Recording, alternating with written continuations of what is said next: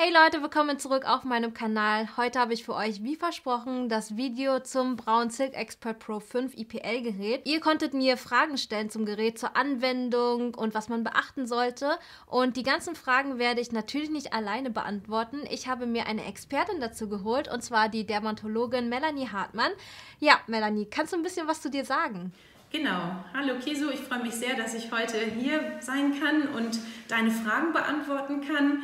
Ich bin sonst im Leben Dermatologin, habe also eine schöne Hautarztpraxis in der Hamburger Innenstadt und ich mache schon seit einigen Jahren noch zusätzlich die ärztliche Beratung für die Firma Braun und heute freue ich mich für deine Fragen da zu sein. Ja, sehr gut.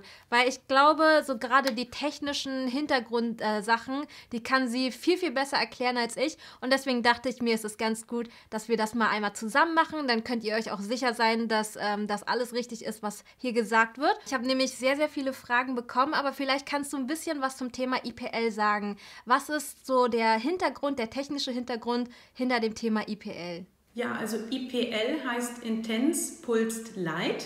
Das ist eine lichtbasierte Enthaarungsmethode und sie funktioniert folgendermaßen. Das Gerät sendet Lichtblitze aus und diese kommen dann in die Haarwurzel, genauer gesagt in das Melanin in der Haarwurzel, also in das dunkle Pigment.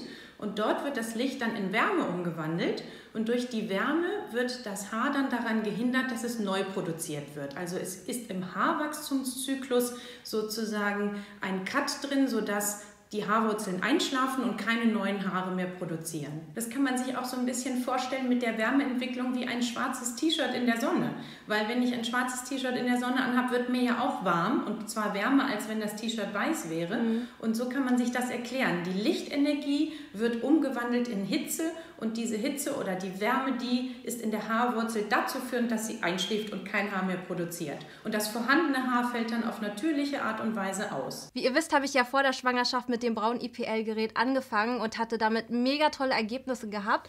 Ich habe dann, ähm, als ich schwanger geworden bin, damit aufgehört, auch wegen der Hormonumstellung. Da ist das sowieso alles ein bisschen durcheinander und habe dann nach der Stillzeit wieder angefangen und hoffe, dass ich dann zum Frühling, Sommer hin wieder haarfrei bin.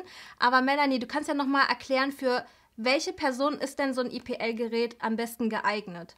Das IPL-Gerät ist für einige Hauttypen gut geeignet, aber nicht für alle. Und ich sage mal Haut- und Haartypen. Es geht nicht so gut bei den ganz dunkelhäutigen und mit sehr hellen Haaren, weil zum Beispiel rote Haare oder weiße, graue Haare oder ganz hellblonde eben nicht gehen, die werden nicht erwischt. Und bei sehr brauner Haut auch nicht. Aber wenn man so einen mittelbraunen Hauttyp bis hellen Hauttyp hat und die Haare normalblond bis dunkelblond, hellbraun oder sogar schwarz sind, dann funktioniert das richtig gut. Also es ist für viele sehr gut geeignet, wo der Kontrast sehr gut ist. Und was würdest du zu denjenigen sagen, die eine helle Haut haben und helle Haare? Also warum funktioniert das dann nicht? Ähm, die helle Haut ist ja gar nicht mal das Schlimme, das ist ja sogar gut, aber das helle Haar ist das Problem, weil in der Haarwurzel bei hellen Haaren eben kein oder wenig Melanin vorhanden ist, der schwarze Farbstoff, und den brauche ich, um das Licht eben in Energie umzuwandeln. Also es wird wie das schwarze T-Shirt in der Sonne ähm, am besten und am äh, wärmsten funktionieren, wenn es eben ein dunkles Haar ist. Melanin, das dunkle Pigment, zieht das Licht rein und wenn das gar nicht vorhanden ist oder nur zu einem ganz kleinen Anteil, dann funktioniert das einfach nicht. Jetzt haben mich viele gefragt, was der Unterschied ist zwischen IPL und Laser. Kannst du das ein bisschen erläutern und was ist äh, jeweils der Vorteil von den Methoden? IPL und Laserlicht haben eins gemeinsam. Sie wollen wirklich das Haar in der Wurzel erwischen, dass kein Haar mehr nachproduziert wird. Also das Ergebnis ist das Gleiche und es ist auch in Anwendungsbeobachtungen durchaus gleichwertig zu beurteilen. Auf der einen Seite hat IPL-Licht aber mehr Streueffekt, weil es doch verschiedene Wellenlängen hat und nicht nur gebündeltes Licht ist wie beim Laser. Und durch dieses Streulicht ist es gefahrenfrei für jeden zu Hause zu verwenden. Und Laserlicht gehört in Hände von Ärzten, weil es eben intensives Licht einer einzigen Wellenlänge ist. Ah, okay, also deswegen ist es auch, kann es auch jeder zu Hause verwenden, ohne irgendwie Angst zu haben, dass es irgendwie gefährlich sein könnte, sondern das ist so sicher, weil das einfach so breit gestreut ist. Ja, ich kann euch das mal ganz kurz zeigen und zwar ist das ganz cool. Ihr könnt nur einen Lichtblitz absenden, wenn das Gerät komplett auf der Haut anliegt und es tut auch überhaupt nicht weh. Ihr könnt hier auch die Intensität einstellen. Ich mache das immer auf die niedrigste Stufe, weil ich eine schmerzempfindliche Person bin. Aber selbst ähm, wenn man es auf der höchsten Stufe hat, ist das komplett aushaltbar. Ihr müsst einfach nur das Gerät hier an die Haut anlegen und einmal hier raufdrücken. Dann wird ein Lichtblitz sozusagen an die Haut gesendet und die ganzen Haarwurzeln, die getroffen werden, die werden in den Schlaf versetzt. So, ich habe es mal ganz kurz ausgemacht, damit das nicht hier so ins Mikrofon reinpustet. Ihr habt auch verschiedene Aufsätze. Ihr habt hier einmal den Körperaufsatz und einmal den Aufsatz für die Haare im Gesicht. Das könnt ihr ganz einfach austauschen und ich würde sagen, es ist so unaufwendig. Ihr, ich brauche für eine komplette Behandlung von Gesichtshaaren bis Achseln über die Beine fünf Minuten einmal die Woche. Also es ist komplett überschaubar der Aufwand und was ich auch total mag, ist, dass es einfach so schmerzfrei ist und ihr könnt das je nachdem, wie eure Schmerzgrenze ist, komplett hier anpassen. Und natürlich auch je nach Bereich das nochmal anpassen. An den Beinen zum Beispiel habe ich das auf der höchsten Stufe. Und da, wo die Haut ein bisschen dünner ist, wie zum Beispiel unter den Achseln, habe ich das auf der niedrigsten Stufe, genauso wie im Gesicht. Also ich weiß noch, als ich vor der Schwangerschaft angefangen habe mit der Behandlung, dass ich so ungefähr zwischen 10 und 12 Wochen dann angefangen habe, richtig sichtbare Ergebnisse zu sehen. Kannst du nochmal erklären, was in diesen Wochen genau passiert? Also warum muss ich das jede Woche anwenden oder alle zwei Wochen anwenden? Was passiert da genau, wenn ich diese Behandlung mache? Mache? Also die Haare haben ja einen Wachstumszyklus, das heißt, sie haben immer verschiedene Phasen, in denen sie auch unterschiedlich empfindlich sind. Und so ist zum Beispiel der Erfolg für das IPL-Licht am besten in der Wachstumsphase der Haare. Aber es sind nie alle Haare gleichzeitig im Wachstum, also muss man versuchen, möglichst viele zu einem Zeitpunkt zu erwischen, die gerade im Wachstum sind und das Ganze dann also wiederholt anwenden, am besten einmal in der Woche, weil ja dann immer verschiedene Haare gerade im Wachstumszyklus sind und dann immer auch erst getroffen werden. Also man wird nie mit einer Anwendung ein Ergebnis haben, was zu 100% Blitzeblankheit führt. Deswegen zu empfehlen, über die ersten vier bis zwölf Wochen eigentlich, das ist unterschiedlich bei jedem, einmal in der Woche vorzugehen, weil ich dann immer gerade Haare habe, die in dieser sensiblen Phase sind und dann werden diese quasi getroffen, sodass in dieser Haarwurzel kein Haar mehr nachkommt. Und um dann erfolgreich alle Wurzeln zum Schlafen zu bringen, braucht man also eine bestimmte Zeit von Wochen. Du hattest, glaube ich, zwölf Wochen gesagt, die du gebraucht hast, ne? bis dann nichts mehr kam. Das ist unterschiedlich, aber es ist wichtig, am Anfang wirklich dabei zu bleiben, wöchentlich, um immer wieder Haare in der sensiblen Phase zu erwischen. Okay, und wie lange schlafen dann die Haare oder beziehungsweise die Haarwurzel schläft ja dann? Das ist eine gute Frage und hängt doch sehr vom, von Mensch zu Mensch und vom Hauttyp auch ab. Also bei manchen ist das so, dass sie einmal im Monat eine Erhaltungsdosis machen sollten, weil sonst Haare nachkommen würden. Und bei manchen ist es auch bis zu einem halben Jahr, dass die Haare gar nicht nachkommen. Also meine Erfahrung liegt da genau in den Bereichen dazwischen, zwischen einem und sechs Monaten für die Erhaltungsdosis. Kann ich das unbedenklich in allen Bereichen an meinem Körper anwenden, wie zum Beispiel, was mich auch sehr viele gefragt haben, ist Intimbereich? Ja, also es geht wirklich an vielen Stellen, sozusagen fast am ganzen Körper, aber gerade der Intimbereich ist eine Ausnahme. Ja. Also Bikini-Zone geht schon noch, auf jeden Fall.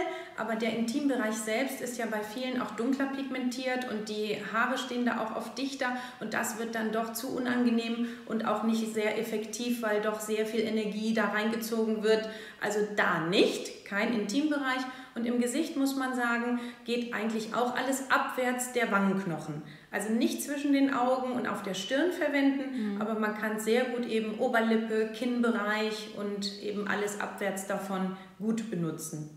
Muss man was beachten, wenn man das Gerät im Gesicht anwendet? Ich zum Beispiel benutze ja hier jetzt vom Braun ähm, das, den kleinen Aufsatz und spanne dann so ein bisschen ähm, die Lippe an, also da macht das so ein bisschen unter meinen Finger, damit ich da besser rankomme. Würdest du sagen, das ist richtig so, wie ich es bisher gemacht habe? Das ist genau richtig. Du musst aufpassen, dass du nicht auf die Lippe kommst. Genau, schön drumrum, die Haut spannen, das sind gute Tipps. Genauso funktioniert es super. Es kamen auch einige Fragen rein, die gesagt haben, ob das Männer auch im Gesicht verwenden können. Also Männer können das Gerät grundsätzlich am Körper auch sehr gerne verwenden. Nur da ist genauso der Intimbereich nicht zu empfehlen empfehlen und im Gesicht leider bei den Männern nämlich auch nicht. Da muss ich Sie enttäuschen, weil da ist das Barthaar doch fester als das bei den Frauen. Insofern kommt es da manchmal zu einem fleckigen Ergebnis mit Lücken und das wollen wir ja nicht. Also da ist es tatsächlich nicht zu empfehlen. Aber ähm, äh, Brustbereich, Rücken bei Männern ideal aber nicht Gesicht. Ja, aber voll gut. Könntest du nochmal so die Vorteile einer IPL-Behandlung für zu Hause nochmal nennen, so als Dermatologin? Was sind so deine Tipps und was sind so die Vorteile davon?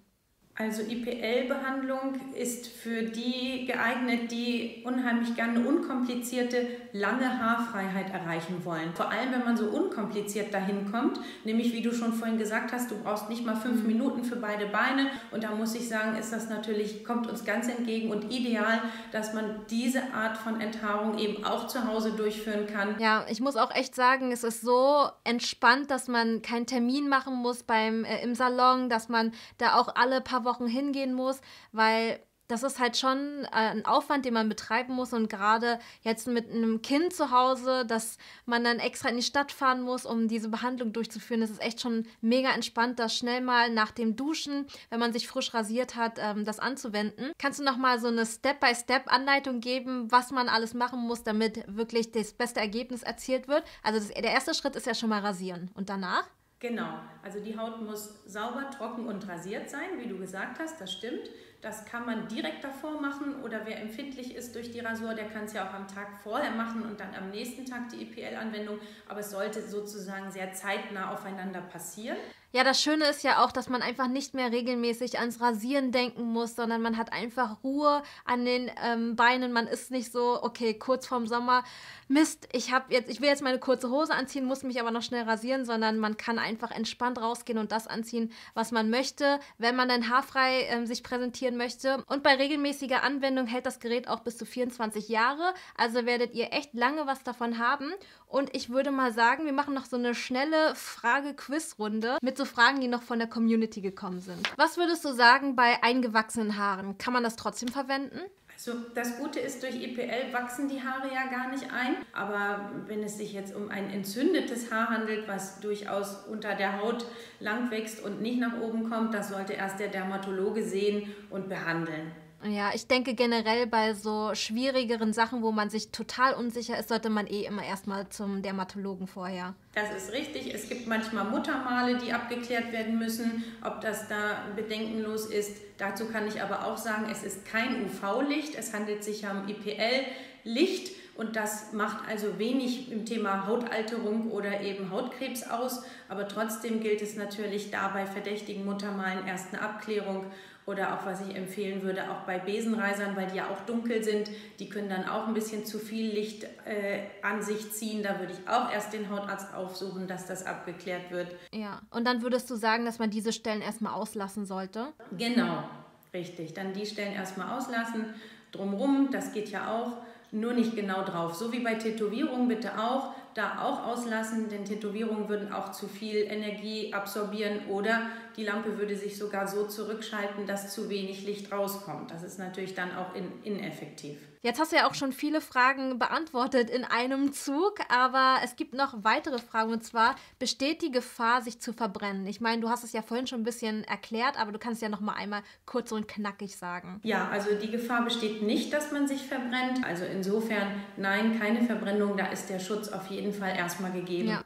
Bei Braun ist es auch so bei dem IPL-Gerät, dass er wirklich ständig die Haut, den Hautton misst und das bis zu 80 Mal die Sekunde. Also könnt ihr da auf jeden Fall auf der sicheren Seite sein, dass der kontinuierlich schaut, ob das jetzt gerade okay ist, wie viel Licht der aussendet.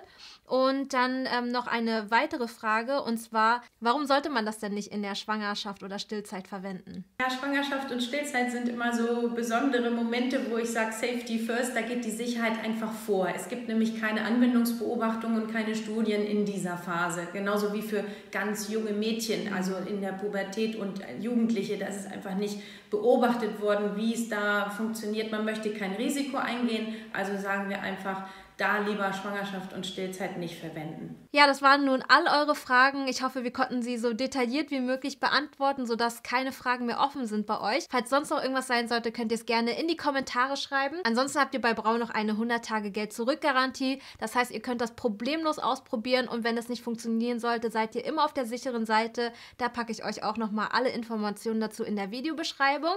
Ja, vielen, vielen Dank, Melanie, dass du alles so schön detailliert beantwortet hast. Ja, liebe Kiso, das das hat mir auch sehr viel Spaß gemacht, all die interessanten Fragen von dir und deiner Community zu beantworten. War toll, heute hier für euch da zu sein. Es ist ein wichtiges und interessantes und tolles Thema. Hat mir Spaß gemacht. Ja, vielen, vielen Dank. Wenn euch das Video gefallen hat, dann würde ich mich natürlich über einen Daumen nach oben freuen. Alle Informationen findet ihr unten in der Videobeschreibung. Hier kommt die zu meinen zwei letzten Videos. Hier könnt ihr mich gerne abonnieren. Vielen, vielen Dank fürs Zuschauen und bis zum nächsten Mal.